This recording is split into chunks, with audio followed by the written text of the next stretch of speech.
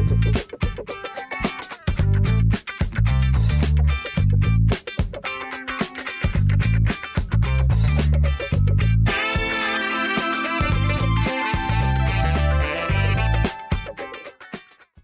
हमने previous topics में तीन जो हमने कंजेक्टिव टॉपिक्स किए हैं, हम टेबल और उसकी प्रॉपर्टीज़ के ऊपर वर्क कर रहे हैं।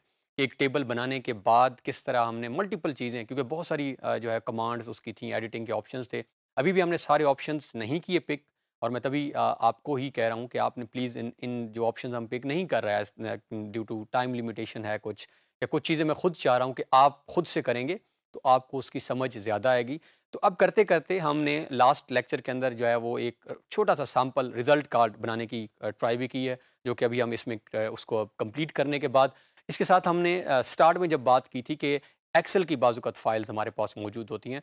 तो हम एक्सेल की फ़ाइल को लिंक कर सकते हैं विद कैड फ़ाइल और बाजुकत ये भी हो सकता है कि कैड के टेबल को हम एक्सेल के अंदर एम एस एक्सेल एक बहुत इंपॉर्टेंट और नॉर्मल बच्चे जो हैं जब भी हम कोई कैलकुलेशन इस्तेमाल स्टैट्स की बात कर रहे होते हैं तो ईज़िली हम इस सॉफ्टवेयर को इस्तेमाल कर रहे होते हैं। तो ये जो है वो कैड uh, जो है ये एक्सेल रीडेबल है यानी एक्सेल की फ़ाइल को कैड रीड करता है और कैड की फ़ाइल को जो है वो एक्सेल भी रीड कर लेता है। तो अभी हम इस लेक्चर के अंदर देखते हैं कि हम किस तरह इन दोनों सॉफ्टवेयर की फ़ाइल्स को एक दूसरे में जाकर ओपन करते हैं। तो ये बढ़ते हैं कैड की तरफ़ और ऑपरेट करके देखते हैं। तो ये भी हमने प्रीवियस टॉपिक के अंदर एक सैंपल जो है वो रिज़ल्ट कार्ड जनरेट किया था, जिसके अंदर हमने कुछ सब्जेक्ट्स के नाम लिखे और अगर हम चाहें तो हम टाइटल को, जिस तरह हमने कहा कि डबल क्लिक करने के बाद जब तक हमारा टेक्स्ट सेलेक्ट नहीं होगा, तब तक हम कोई चेंज नहीं कर सकते।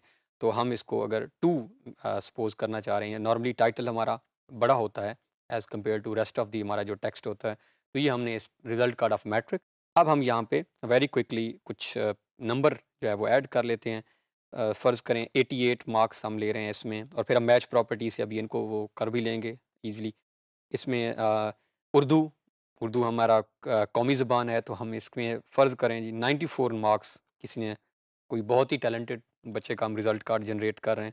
इस्लामियात अगर सौ नंबर थे तो वैसे नॉर्मली सेवेंटी फाइव पचहत्तर नंबर हम कर लेते हैं तो उसने सेवेंटी मार्क्स ऑबटेन किए हैं। अब हम यहाँ पे टोटल नंबर भी लिख लेते हैं कि एक सौ इसका था और एक सौ जो था हमारा, वो इसका था और फ़र्ज़ करें हम कह रहे हैं कि इसका कोई मार्क्स जो थे वो सेवेंटी फाइव तो ये हमने यहाँ पे टोटल मार्क्स ऑप्टेन मार्क्स और परसेंटेज आप कैलकुलेट कर लें फ़र्ज़ करें ये 88 परसेंट बन रहे हैं इसके तो हम 88 परसेंट इसको भी हम परसेंटेज का सिंबल भी साथ दे देते हैं। परसेंटेज का सिंबल देने के लिए हम इन्हीं सेल्स को जो है वो सिलेक्ट कर लेते हैं और यहाँ से हम जाके ईज़िली जो है वो सिंबल चेंज कर लेते हैं और इसको हम अगर चाहें तो परसेंटेज का सिंबल तो आप नोट करें एटी और ये नाइन्टी परसेंट हम कर लेते हैं इसको, क्योंकि ये नाइन्टी परसेंट बन रहा है।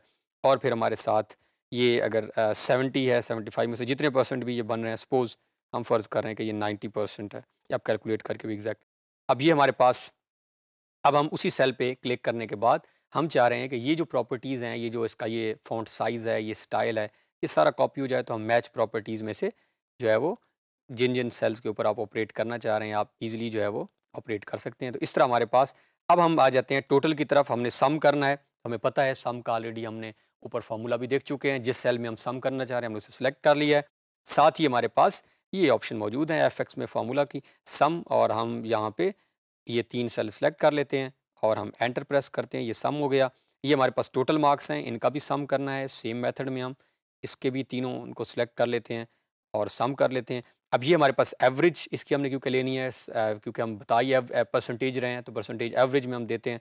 तो अब यहाँ पे हम फार्मूला लगा लेते हैं एवरेज का और हम यहाँ पे ये तीनों वैल्यूज़ को सिलेक्ट करके और यहाँ पे और इनको भी अभी हम सेम मैनर में किसी भी सेल की जो प्रॉपर्टीज़ आप करना चाह रहे हैं तो हम यहाँ पे मैच प्रॉपर्टीज़ के अंदर से जो है वो तो जैसे ही हमने यहाँ पे हम क्लिक करेंगे तो अगर आप नोट करें तो अब हमारे पास उसने इस बजाय इसके कि वो ये एग्जैक्ट सेम फॉन्ट साइज़ और सेम टेक्स्ट वो हमारा फॉन्ट स्टाइल पिक करता, उसने यहाँ पे हमें ऑप्शंस दे दिए हैं और इसमें एरर यानी ये जो ऑप्शन हमें नज़र आ रहे हैं ये एक शो कर रहे हैं कि फार्मूला या जो चीज़ हम अप्लाई करना चाह रहे थे वो नहीं की। अब इसका जो क्यों नहीं की, इसकी बुनियादी रीज़न ये है क्योंकि यहाँ हमारा फार्मूला बिल्ट हुआ हुआ था। ऑलरेडी हमने एक फार्मूला लगा के रखा हुआ है। तो वो फार्मूला, जो ऊपर वाले सेल्स हमने थे, वहाँ हमने खुद मैनुअल एंट्री की हुई है और यहाँ पर एक फार्मूला सम का या एवरेज का लगा हुआ है। तो इसके लिए हम इसको कंट्रोल जी करते हैं, वापस आ जाते हैं ओरिजिनल वैल्यूज़ में और अब हम यहाँ पे इनको क्विकली जो है वो मैनुअली चेंज कर लेते हैं। हम चेक कर लेते हैं कि इनकी प्रॉपर्टीज़ ये अगर आप नोट करें तो ये एरियल के अंदर वन इंच इसका साइज़ है। तो इसको भी जो है हम खुद से सिलेक्ट करके इसका साइज़ हम वन इंच कर लेते हैं और ये ऑलरेडी एरियल में है। तो अब आप नोट करें और इसको साथ ही जो है हम क्लिक करने के डबल क्लिक करने के साथ इसको सिलेक्ट कर लेते हैं और सिलेक्ट करने के साथ हमारे पास ऑप्शन मौजूद है ए के अंदर जाके हम इसको मिडल सेंटर के अंदर, इसी तरह हम बाकी तो ये हमारे पास जो है इस तरह हम एक बेसिक रिज़ल्ट कार्ड को जनरेट कर सकते हैं। आई होप कि अब आप इजीली जो है इसके साथ साथ आप कॉम्प्लेक्स शेप्स में जाके जो है वो कॉम्प्लेक्स किस्म के टेबल्स अगर बड़े टेबल्स जिसमें ज़्यादा रोज़ और कॉलम्स हो, आप इजीली जो है वो जनरेट कर लेंगे। ये हमारे पास इस तरह हमने अभी कंप्लीट किया अपना एक basic result card of matric तो अभी हम जो है इस लेक्चर के सेकंड फ़ेज़ की तरफ़ इस टॉपिक के क्विकली हम एक एक्सेल का टेबल अगर हमने कैड में लेकर आना हो, और अगर हमने कैड की फ़ाइल को एक्सेल की फ़ाइल बनाना हो और ओपन करना हो तो कैसे करते हैं? तो इन दोनों स्टेप्स को हम क्विकली परफॉर्म कर लेते हैं। जब भी हमने एक्सेल की फ़ाइल को कैड में लेके आना हमारे पास दो मेथड हैं। एक ये है कि हम ड्रॉ से, जहाँ पे हमने टेबल के ऑप्शन पिक किया है, वहाँ से ही हमारे पास, अगर आपको याद हो स्टार्ट में हमने देखा था कि फ्रॉम अ डाटा लिंक पहले हमने किया था एक एम्प्टी टेबल जिसमें हमने खुद से जनरेट किया, खुद रोज़ कॉलम्स बताए। अब हमारे पास ऑप्शन है कि हम नहीं रोज़ एंड कॉलम्स हम ये ऑफ़ हो जाएँगे और हमारे पास एक लिंक मौजूद है, एक एक्सेल की फ़ाइल मौजूद है। हम उस फ़ाइल को क्यों ना हो कि यहाँ लिंक कर दें और इजीली हमारा जो है वो काम हो जाए। तो डिपेंड करता है, आपने जो, जिस चीज़ पे वर्क करना है, हम यहाँ पे ये, जैसे ही हम इस पर क्लिक करते हैं so launch the data link manager dialog box दूसरा हमारे पास ऑप्शन है डी एल डी एल भी जो है, ये भी हमारे पास डाटा लिंक की ऑप्शन है। तो फ़िलहाल हम टेबल से जाके हम यहाँ पे टेबल के ऑप्शन पे क्लिक किया, यहाँ से हमने डाटा लिंक पे क्लिक किया, ये हमारे पास हमने क्लिक किया तो ये डाटा लिंक का जो हमने अभी शॉर्ट की लगाई डी एल उससे भी आप डायरेक्ट यहाँ पे आ सकते हैं और आप चाहें तो आप टेबल की जो डायलॉग बॉक्स है, उससे भी सिलेक्ट कर सकते हैं। अब यहाँ पे हमें ऑप्शन दे रहा है create a new Excel data link exactly क्योंकि अब हम एक नया क्रिएट करना चाह रहे हैं लिंक हमारे पास अभी कोई लिंक मौजूद नहीं है, एक नया लिंक अब वो उस लिंक का नाम पूछ रहा है। अभी आपने एक चीज़ से कन्फ्यूज़ नहीं होना, वो जो एक्सेल की फ़ाइल है, उसका नाम अलहदा है। हमने यहाँ पे खुद से एक नाम देना है कि हम ये जो एक्सेल की फ़ाइल को कैड की फ़ाइल में लिंक कर रहे हैं एक्सेल के टेबल को, उस लिंक का कोई नाम, कोई भी नाम सपोज़ कर सकते हैं कैपिटल हम कैप्स लॉक ऑन करके ए बी सी डी फ़र्ज़ करें। ये हमारे पास ए बी सी डी कोई नाम है, मैं यहाँ से इसे ओके करता हूँ। अब जैसे ही मैंने इसे ओके किया, अब अगर आप नोट करें तो वो कह रहा है file using an existing Excel file और browse for a new one यहाँ पे हमने वो एक्सेल की फ़ाइल का पाथ देना है, जो फ़ाइल हमारे पास ऑलरेडी सेव पड़ी है। मैं यहाँ पे ये है जी क्लिक दी इस बटन पे आप क्लिक करेंगे तो ब्राउज मीन कि जिस जगह C drive D drive E drive F drive जहाँ पे वो आपकी एक्सेल फ़ाइल मौजूद है, अब हमने उसको लिंक देना है, उसको ऐड करना है। मैं इस लिंक पे क्लिक करता हूँ। अब ये मेरे पास पूछ रहा है, अब मेरे पास डी ड्राइव के अंदर हमारा जो फोल्डर है कैड फाइल्स उसके अंदर जो डेट है, वहाँ पे ये रिज़ल्ट कार्ड कोई भी एक एक्सेल के अंदर जो है, वो सैंपल रिज़ल्ट कार्ड बना हुआ है। आपके पास कोई भी कुछ भी हो सकता है, कोई टेबल हो सकता है। आपने यहाँ पे किया क्लिक और यहाँ से हमने किया ओपन। जैसे ही हम ओपन करते हैं तो हमारे पास एक ये नया डायलॉग बॉक्स जो है वो छोटा सा ओपन हो गया है, जिसमें वो हमें प्रॉपर्टीज़ भी बता रहा है और नीचे अगर आप देखें तो वो हमें प्रीव्यू भी दिखा रहा है, जो हमारा टेबल अभी ऐड होने लगा है, उस टेबल के बारे में भी बता रहा है। ये हमने सेलेक्ट किया, यहाँ से आपने ओके प्रेस करना है और ये आपका टेबल ऐड हुआ है, यहाँ से भी आपने ओके प्रेस किया और यहाँ पे भी प्रीव्यू आ रहा है, यहाँ से भी ओके।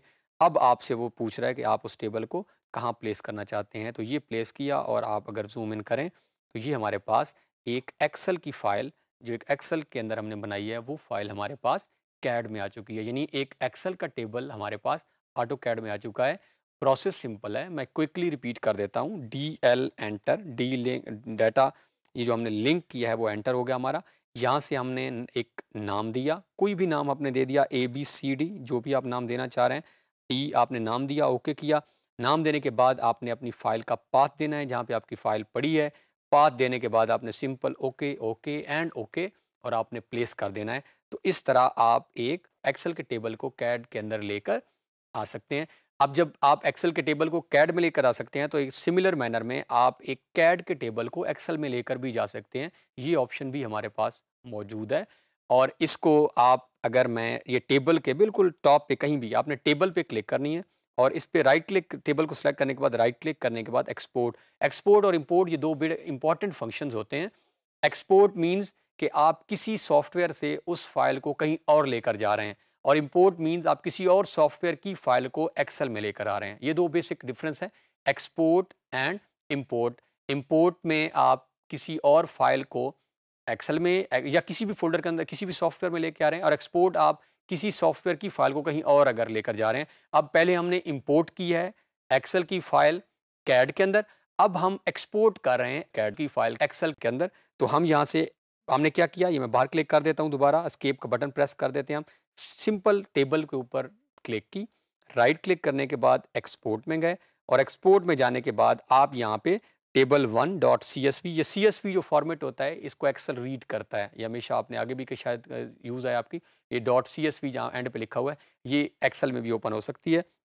हम यहाँ से इसे अपने फोल्डर में सेव कर रहे हैं। ये मेरा फोल्डर है, जो हमने, जहाँ पे हम ऑलरेडी फाइल्स बना रहे हैं। यहाँ पे मैं इसे सेव करता हूँ। अब मैं यहाँ से अपने फाइल्स में जाके और डी ड्राइव जो हमारी बनी हुई है, इसके अंदर अगर आप नोट करें तो ये टेबल वन के नाम से ये रिज़ल्ट कार्ड ऑलरेडी हमारा पड़ा था।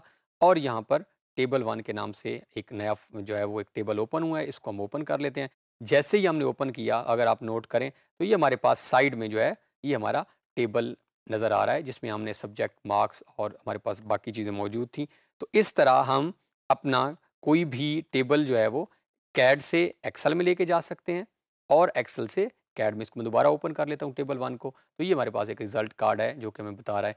तो ये इम्पोर्ट और एक्सपोर्ट तो इस तरह जो है वो आप टेबल्स बना भी सकते हैं और उसके अंदर फिर आप एडिटिंग भी कर सकते हैं और कहीं और किसी और सॉफ्टवेयर से टेबल्स को लेकर भी आ सकते हैं। तो ये हमारे पास हमारी कैड फ़ाइल मौजूद है, जहाँ पे ये दोनों टेबल्स मौजूद हैं। तो हमने एक्सेल के कैड के अंदर तीन बेसिक बुनियादी टेबल्स के लेक्चर देखने के बाद हमने कंक्लूड किया है कि कैड किस तरह हम एक्सेल के टेबल्स के अंदर एडिटिंग कर सकते हैं, एंट्री कर सकते हैं, एंट्री को चेंज कर सकते हैं। और किस तरह हम डिफरेंट सॉफ्टवेयर लाइक एक्सेल के टेबल को कैड में लेकर आ सकते हैं और देन कैड की फाइल्स को एक्सेल में लेकर जा सकते हैं।